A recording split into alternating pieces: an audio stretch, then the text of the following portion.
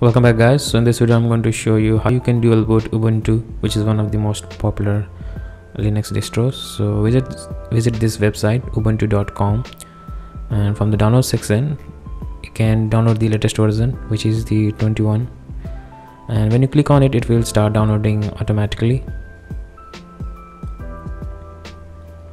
You can also use an external download manager for faster downloads. You can see it's downloading.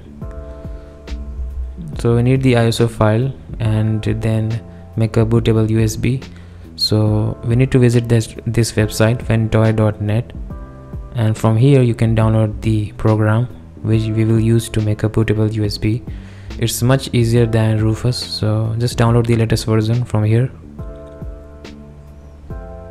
And from here we need to download the zip version and this github page will show up and just download the from the asset section the zip file.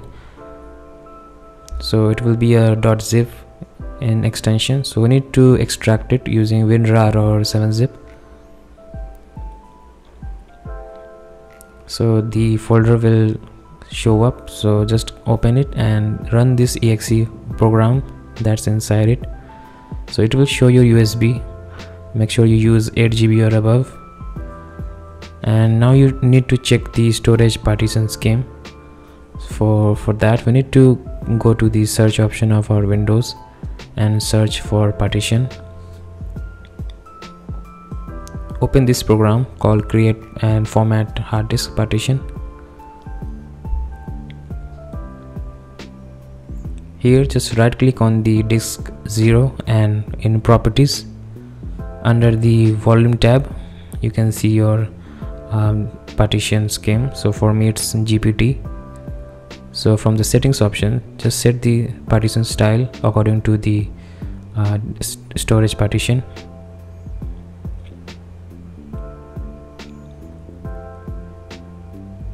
And when you hit install it will format your usb and the bootable usb will be ready to use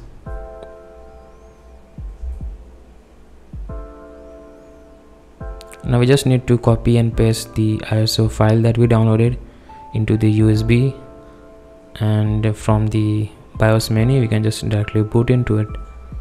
So we do not have to separately make bootable for each OS you can see I already have four OS inside of it. We need to just paste the Ubuntu one.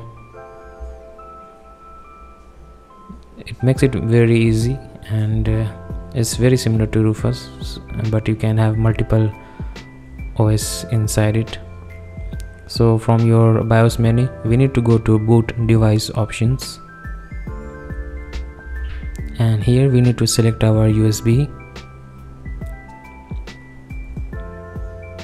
and this Ventoy will show up. And just select Ubuntu from the list of OSs the setup will begin. Just select the first option ubuntu.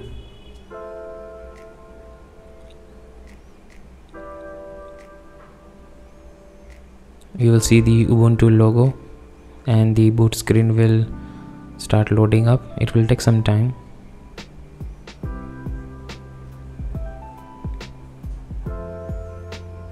So now we have the installation window here so we're going to select install ubuntu. You can also go ahead and try it for some time and install it later.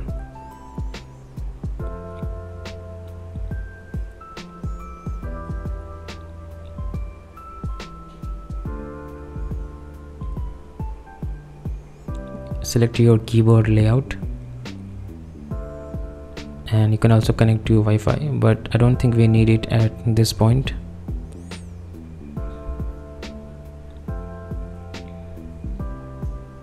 here uh, you can have multiple applications so minimal i will select minimal installation. So it will only have some basic apps like web browser but you can also go for full installation normal one. But for this i'm going to go for minimal and install applications later on. And you can select this option to install a separate graphics or wi-fi drivers. If you have some issues if you have experience issues on other OS you, need, you should check this box and then continue. It will take some time to load up the installation.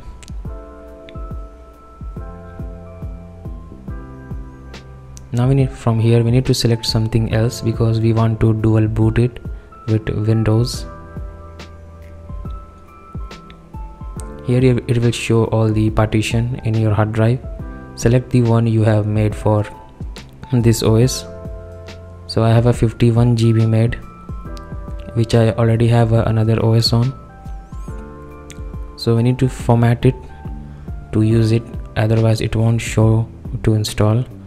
So just click on change and select from the drop down menu select the ext4 partition for system and the mount partition point should be forward slash. So the first option just use that.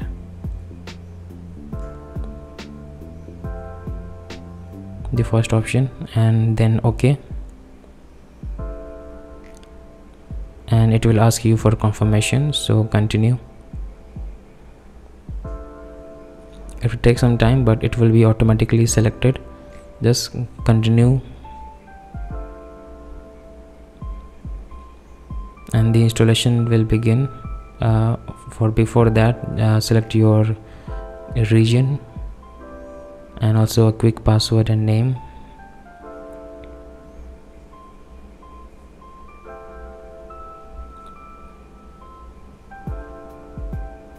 And now the installation will begin. So be patient it can take a lot of time. So just leave it as it is and after some time you will see this option to restart. So either it will restart normally into ubuntu or you can also go back to windows. So if does if it goes back to window make sure you go to your bios option. And uh, from there i'll show you you will have this option in your boot device option. So just select ubuntu from there and you can go back to ubuntu. So now we are in the ubuntu os and we can start using it as a normal os it will ask you to help improve so you can share your diagnostic data. I'm going to decline. Some privacy confirmation and we are good to go. So right now in ubuntu you can see the performance is really smooth. It has the app drawer by the dock on the left side and it's very smooth operation very easy to use as well. You can see the different wallpapers of hippopotamus. I think it is its logo. You have this dark theme light theme and the standard one. The standard one has incorporated both dark and light. Mm, both like most of the settings are really similar to other linux. It's most popular because of the updates. It gets frequent updates and the developers are always fixing fixing the issues. You can see i have the intel uh, 6th generation and the integrated hd 520 graphics and 8 gb ram and even on my system it's running pretty fine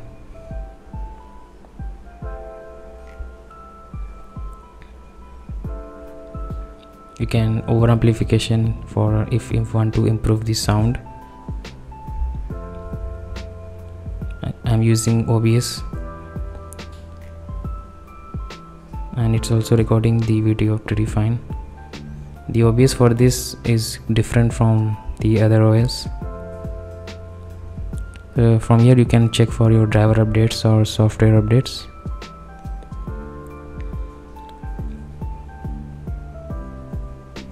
it shows some updates you can choose to install it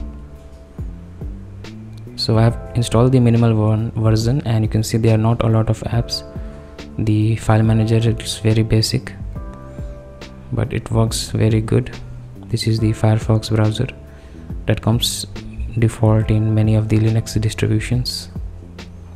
This is the quick toggle.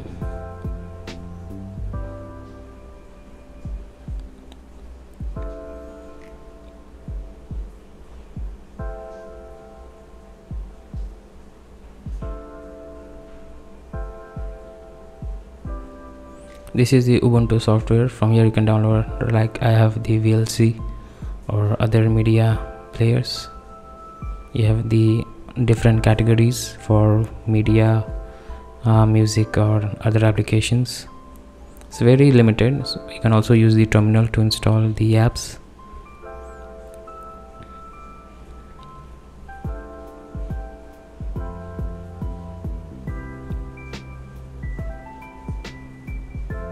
get different utility options for developers the terminal.